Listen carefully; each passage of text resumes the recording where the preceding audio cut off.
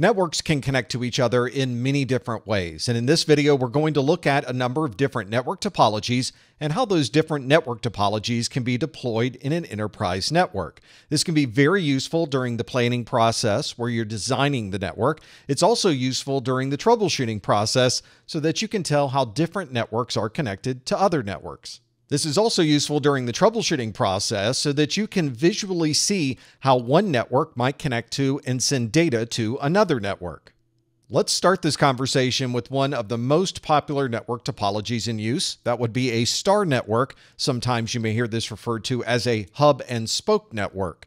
This is what we use in most large networks to connect devices together.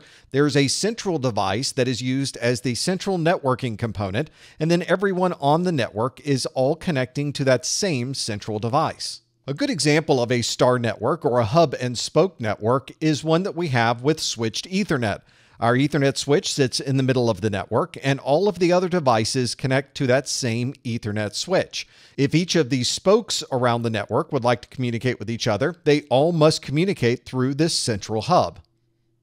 A mesh network design is in one location or device connects to another location or device over more than one network connection. This means that we could have one link communicating to another, and it might follow one path to get to that location, or it may follow an alternate path to be able to get to that location.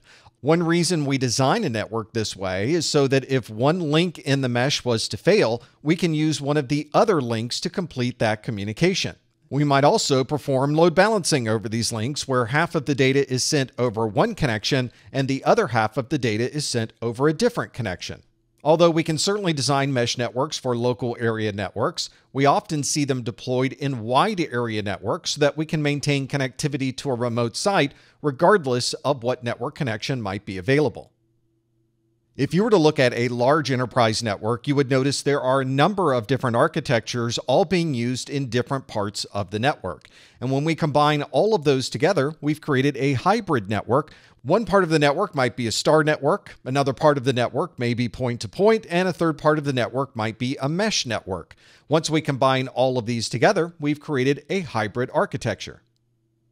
Many data centers take advantage of a spine and leaf architecture. This is where you would have individual switches at the top that are the spine of the network. There would be switches in the middle that are leaf networks, and then you would have different devices connect to the leaf.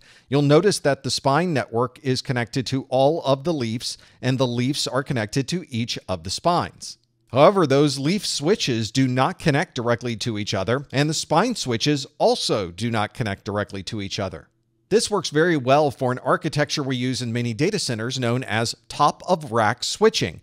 In top of rack switching, every rack has a leaf switch at the top of every physical rack. We would then connect all of the physical devices in that rack to the leaf switch that is at the top of that rack.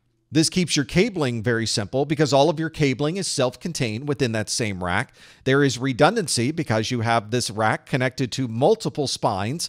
This also increases the overall performance of the network because we're no more than one switch away from any other device in the data center. If your data center only has a handful of racks, this may be a relatively inexpensive way to connect all of these devices together.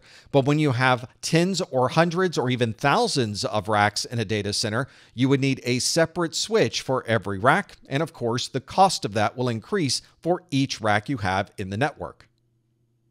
When looking around the network, you may find some wide area network connections that are point to point. And as the name implies, there is a single point connected to a single point. This was a very common design on older wide area networks where you would use something like a T1 or a T3 connection. We refer to those as point to point T1 or point to point T3.